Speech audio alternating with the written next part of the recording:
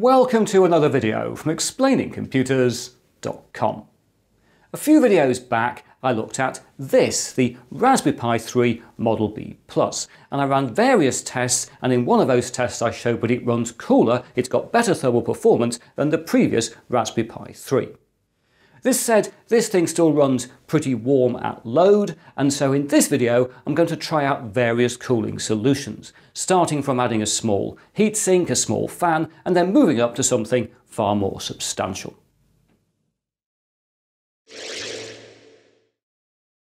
Right, here we are with the Raspberry Pi 3 Model B Plus, all connected up and running, but with no form of cooling fitted, with no heatsink, with no fan, so we can use this to take some baseline temperature measurements. And to do this, I'm going to use this script I've used many times before. This is a little bash script, which will uh, clear the screen, will execute a little loop. Here through uh, seven iterations, I thought we'd get a bit more data, run it for a bit longer uh, in this video to get some really good, good results. And we're going to basically, inside this loop, we will take a temperature measurement and then we'll use the sysbench command to uh, fully uh, stress out the Raspberry Pi's processor by factoring prime numbers up to a value of, of 20,000. Just to note, if you want to use this script, you'll have to install sysbench first using this command you'll see here on the screen. You'll have to execute this in the terminal so you can use sysbench. And then, anyway, at the end of this loop, you will then uh, have a final temperature measurement taken here, so we'll get eight temperature measurements with uh, seven sysbench tests between those. So let's bring up a, a terminal where I've got that all uh, set up to run, a nice big font so we can all see it. So let's just start off that test.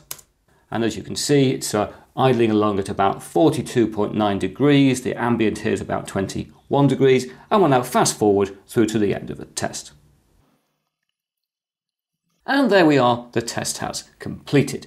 And as you can see, the Pi settled at around 70 degrees C. And that is significant because the Raspberry Pi 3 Model B Plus has got a clock speed of 1.4 GHz, but it drops back to 1.2 GHz around 70 degrees. It'll then throttle at somewhere over 80 degrees. But clearly it's hit that 70 degree mark and dropped back its speed.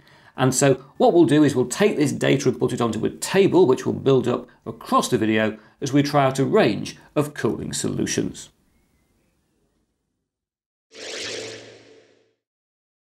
Right, the first cooling solution I'm going to try is this thing. This is a tiny little heatsink designed for something like a Raspberry Pi. You can buy these for about a pound, for about a dollar, and they attach using uh, some uh, just a thermal tape as you can see on the back. So if I can get that off, hopefully we can uh, take off that and then just apply this to the Pi. And uh, there we are, that is on there nice and secure. We've got a little heatsink now on our Pi, so we'll connect it all up and rerun our tests. And uh, here we go. And there we are, the test has completed. And if we put those results across onto our table, we can see that applying the small heatsink did reduce the uh, idle temperature a little bit at the start. It uh, heated up a bit more slowly, but it still reached that point around 70 where the Pi was reducing its clock speed down to 1.2 gigahertz. But of course, this is only the start of our extreme cooling tests. Now, the next logical thing to do in our cooling venture is to add a fan. And so I've got this, which is a 30mm 5 volt fan. You can see it's actually labelled as a Pi fan. Again, these are very easy to get hold of all over Amazon and everywhere else online, costing sort of four or five dollars, typically four or five pounds sometimes for this type of fan. And to mount this, I'm going to uh, put it on a little board. You can see this little board is here. This is not the best piece of construction in the world, but you can see it's got the appropriate holes for the, the fan and the GPIO pins on the Pi and the uh, holes for screws to mount it on top of the little board I've made. This thing is made out of something called Plasticard, which is easy to work. I've been uh, cutting it with good old uh, Stanley the knife has been helping out. And uh, I've got here actually the bottom of the sheet but I bought this from. You can actually see that if you want to see exactly what it is. This is a 0.4 millimeter Plasticard. So I'm going to take these, put them together and mount them on the Pi, and it'll look a bit like that. And you'll note here I've got the power connected onto the Pi's GPIO pins. But to be very clear here, this, this has not got the fan connected to a GPIO output.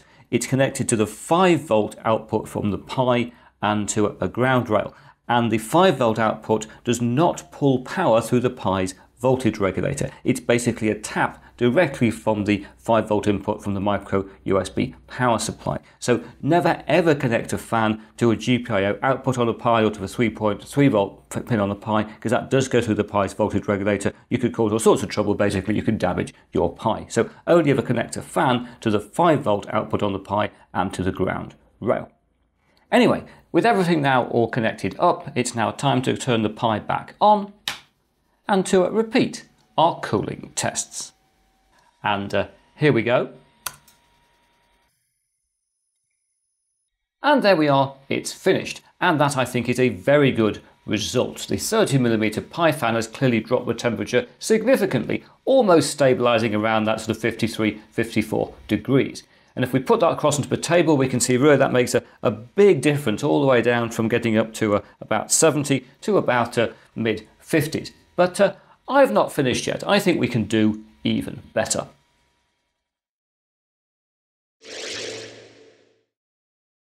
Right, for my next trick I thought I'd replace the 30mm Pi fan with something much bigger, more powerful, and I'm going to use this. This is a Noctua fan, this is a Rolls Royce of fans, a Noctua fan. This is an NF-A4X20 5 volt version. Be very careful if you want to use one of these in the Pi, you can get a 12 volt version or a 5 volt version, you'd have to have the 5 volt version.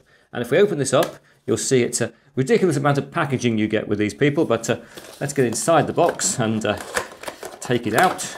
There we are, all very exciting. These are Noctua fans. There's all the things here we don't need. We basically just need the fan here. And I'm going to have to do something about how it gets wired up anyway. I can't get it out. There we are. There's, there's the fan itself. This is a nice little fan and there's all these mounts I won't be needing, but I will use.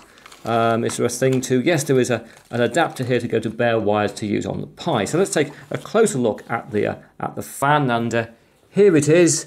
Very very nice fans. These are Noctua fans. I'm going to mount it on the Pi using uh, another little board I've made up. This is uh, obviously been slightly altered so it'll accommodate uh, this fan here, although I think it's actually going to fit on that way up there, unfortunately. Just not quite as nice, but that's the way the airflow is going to work.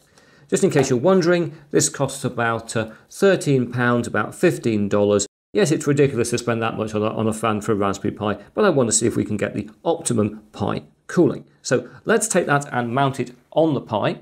And uh, here, by the magic of filmmaking, there we are, it's fitted on rather nicely. The wiring is uh, not too bad, I'm sure some of you would make the wiring more neat than that. You could potentially take off some of this wiring, but uh, overall I think the Noctua fan fits very nicely on the Pi. It's nice to see a Pi with its uh, Noctua fan there, it looks rather, rather good. Anyway, I think it's now high time to get it all connected up, and uh, there we are. It's now the moment of truth to see whether it's worth all the effort, so I'll turn on the Pi, and uh, there we are. Oh yes, you can see there's a powerful fan is operating there. And uh, so if we now go back to our desktop, we can repeat our test. And that, my friends, is I think what we can call a very pleasing, a very good result. Clearly the Pi has stabilised with its Noctua cooler at 47.2 at full load. If we put that over onto the table, of course, we're going to see that's, that's the best result so far. Clearly, it's locked a great deal of temperature off the Pi. Are we going to stop there though? No. I've still got a few more tricks to try.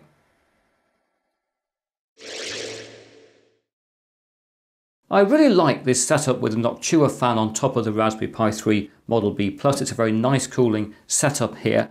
But uh, even so, to move things forward, I need to take it all apart again, like this, because I think the real constraint in the system right now is this tiny little heatsink. So I want to replace that with a bigger heatsink. So let's get rid of this heatsink, which hopefully will just pull off with its uh, thermal tape there. And I'm going to fit a bigger heatsink, which is going to be this thing. You can find all sorts of uh, coolers online. This is a cooler which has got about a 40 millimeter base out of aluminium, an NB1 cooler it's labelled, and uh, I can just get through the packaging Shouldn't be too difficult to get it out. There we are, look. And this is a nice looking cooler, isn't it? I like the blue anodized aluminium there. And this we can fit onto the, uh, the Raspberry Pi. Now, the heatsink cannot be put just directly onto the system on the chip. It will just fit in there, as you can see, just, just takes it in there. But uh, if I did fit it straight in like that, it would short out a lot of these components on the top of the Pi. That's clearly not a good idea. So to make this work, what I'm going to do is use a piece of copper as a spacer. This is a piece of 3mm copper I bought for this type of purpose. I've used on a Pi previously in some successful cooling solutions. That will go on top of the system on a chip, something like that. And then the uh, heatsink will go on top that.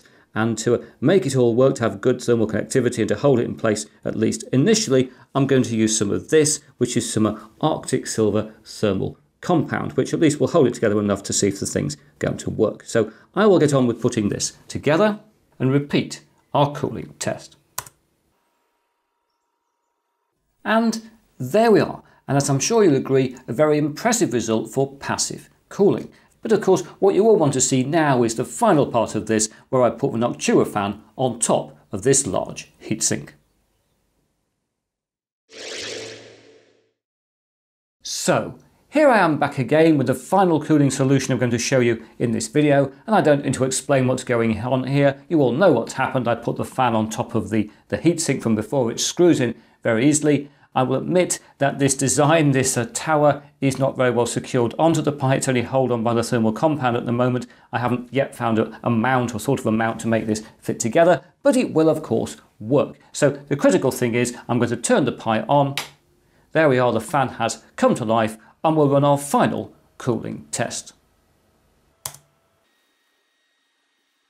And there we are, another very pleasing result. And if we put these numbers across onto the table, we can see that by moving from the small heatsink with a large fan to a large heatsink with a large fan, we've knocked, uh, what, 9 or 10 degrees almost off the, uh, the temperature of the Pi. It's clearly stabilised around 38.6. I don't really understand that 37.6 result in there. I'm going to treat that as an outlier. But clearly we've proved that using the Noctua fan can stabilise the temperature of a Pi pretty quickly, and it does it better using a large heatsink. So there we are. Some, I think, interesting experiments. I think the rig with the uh, small heatsink with a large fan is the most practical to use, but it's also nice to take things to their extreme. As we've seen in this video, it's possible to substantially drop the at-load temperature of a Raspberry Pi 3 Model B Plus using either active or passive cooling, or indeed both. Now, of course, we could always go further. We could add some very large heat sinks like these old Zalman coolers. We could uh, put the Pi in mineral oil. We could try water cooling. There are other solutions left, and so if I ever get bored and I want to make a video, I could always try some further Raspberry Pi 3 Model B Plus cooling experiments. But uh, now I think that is it for this video. If you enjoyed what you've seen here, please press that like button. If you haven't subscribed, please subscribe, and I hope to talk to you again very soon. Thank you.